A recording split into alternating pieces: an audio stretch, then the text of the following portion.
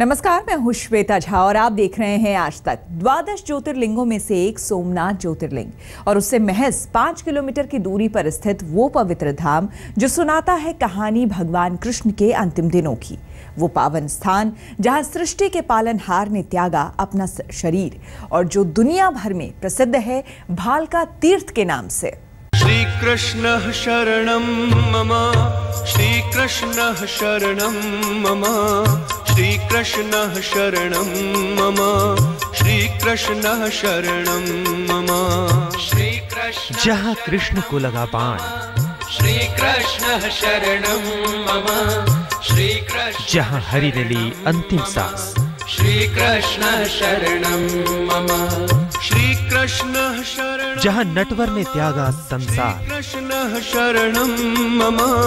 कदम्ब केरी भालका तीर्थ है वो पवित्र धाम। कृष्ण शरणं मम। द्वापर युग के सबसे बड़े नायक संसार को गीता का ज्ञान और जीवन का सत्य बताने वाले भगवान श्री कृष्ण और उनके आखिरी लम्हों की गवाही देता ये भाल का तीर्थ।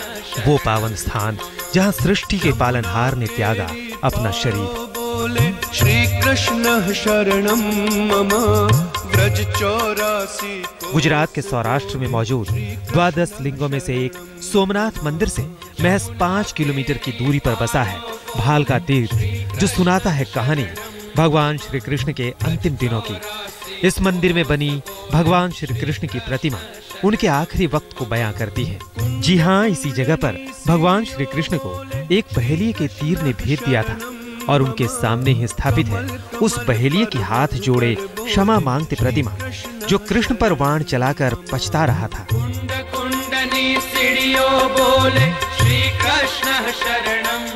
कृष्ण तो अंतर्यामी थे, वो बखूबी जानते थे कि संसार को अपने इशारों पर भले वो चलाते हों, लेकिन अब इस दुनिया से उनके चलने का समय आ गया है। तभी तो तीर चलाने वाले बहेलिये को उन्होंने माफ़ कर दिया। घायल हालत में ही भगवान कृष्ण भालका से थोड़ी दूर पर स्थित हिरण नदी के किनारे पहुँचे। हिरण नदी सोमनाथ से महज डेढ़ किलोमीटर की दूरी पर है। कहा जाता है कि उसी जगह पर भगवान पंच तत्व में ही विलीन हो गए। वहीं से भगवान सीधे बैकुंठ धाम चले गए। लेकिन हिरण नदी के किनारे आज भी भगवान के चरणों के निशान मौजूद हैं और जो दुनिया भर में देहोत्सर्ग तीर्थ के नाम से मशहूर है।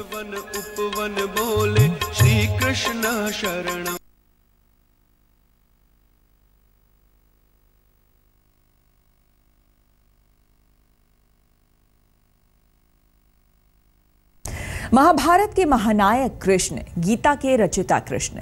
लेकिन उस भगवान श्री कृष्ण के देहत्याग के कारण बना एक बहेलिया क्या है इस बहेलिए की कहानी? आइए आपको बताते हैं।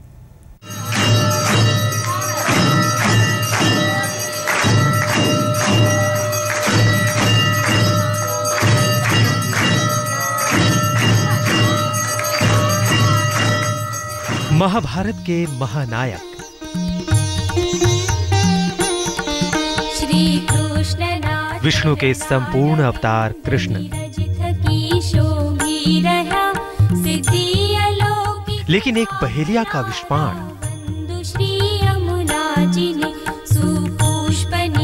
बन गया कृष्ण के देह त्याग का कारण। सोलहों कला में माहिर कृष्ण, चक्र सुदर्शन धारी कृष्ण, संसार के सबसे बड़े युद्ध, महाभारत के महानायक कृष्ण, गीता के रचयिता कृष्ण। लेकिन उस भगवान कृष्ण की मौत का कारण बना एक पहेलिया। दुनिया का सर्वश्रेष्ठ धनुर्धर अर्जुन, जिस कृष्ण का शिष्य था, उसी कृष्ण को मामूली धनुई वाले एक पहेलिये ने मौत की नींद सुला दी।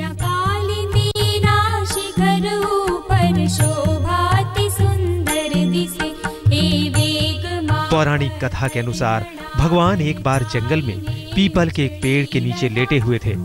तभी जरा नाम के एक पहेली की नज़र उनके पैरों पर पड़ी। भगवान के पैर की चमक देखकर उसे लगा कि ये ज़रूर कोई हिरण है। बहेलिये के मन में शिकार की इच्छा जागी और बस उसने आव देखा न ताव, सीधे भगवान के चरणों में एक विषधर तीर चला दिया। वो जानलेवा तीर सीधे कृष्ण के तलवे में जा लगा। निशाना सीधे शिकार पर लगा था। इससे खुश होकर जब बहेलिया भगवान के करीब पहुँचा तो वहाँ का मंजर देख वो सन्न रह गया। रोते धोते उसने भगवान से माफ़ी मांगनी शुरू कर दी। लेकिन कहते हैं कि तब भगवान ने उसे पिछले जन्म की एक दास्तां सुनाई।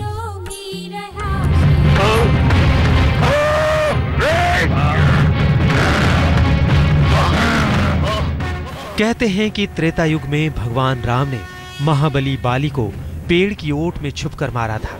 बाली को यह वरदान था कि जो भी उससे सामने आकर युद्ध लड़ेगा, उसका आधा बल बाली में आ जाएगा। इसी वजह से भगवान को छुपकर तीर चलाना पड़ा। बाली ये देखकर दंग था कि जिसे संसार मर्यादा पुरुषोत्तम मानता है, उसी ने एक शिकारी की तरह छुपकर उन पर वार किया। भगवान तो भगवान ठहरे, वो बाली की पीड़ा समझ गए और उन्होंने बाली को वरदान दिया कि अगले जन्म में वो बहेलिया का जन्म लेगा और उसके वाण से मरकर भगवान अपनी करनी का प्रायश्चित करेंगे। लेकिन बाली और सुग्रीव वानर भाई थे और राजा थे, लेकिन दोनों आपस आपस में लड़ रहे थे। तो राम जी ने सुग्रीव का मदद लेकर बाली को पेड़ के पीछे छिपकर से बिना कारण मारा। वो बिना कारण मारा हुआ बाली कृष्ण अवतार में जरा नाम का शिकारी बना और भगवान कृष्ण जहाँ पेड़ के नीचे सोए हैं, वो पेड़ है सामने। इस पेड़ के नीचे सोए थे पेड़ पे पैर रखकर। तो भगवान के पाँव में सोलह पद्म चिन्ह होते हैं। जो शिकारी को लगा कि जंगल के अंदर कोई हिरन बैठा है, उसने तीर छोड़ा, वो तीर कृष्ण परमात्मा को यहाँ लगा। भगवान ने अपना वचन निभाया और जिस जगह उन्होंने सारी नरलीला करने के बाद देह छोड़ा, वो जगह अब एक तीर्थ स्थल बन चुका है। ध्रुव जोशी भाल का तीर्थ, आज तक।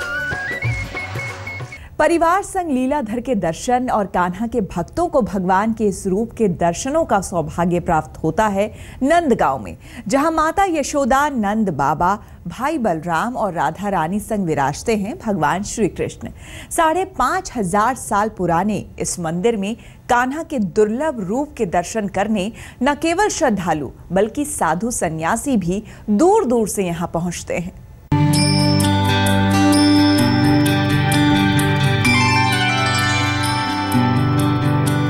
भगवान श्री कृष्ण की भूमि ब्रजभूमि। कण कण कृष्ण का कोने कोने में कान्हा।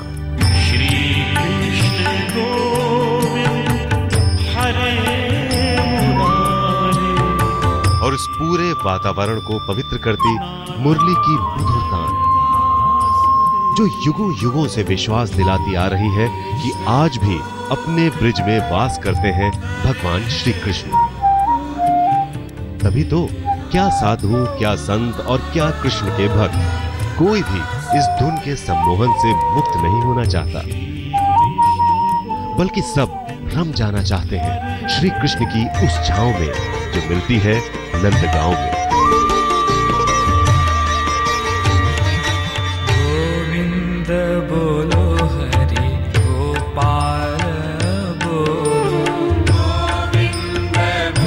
श्री कृष्ण की जन्मस्थली मथुरा से लगभग 50 किलोमीटर दूर है नंदगांव, जिसका नामकरण हुआ बाबा नंद के नाम पर।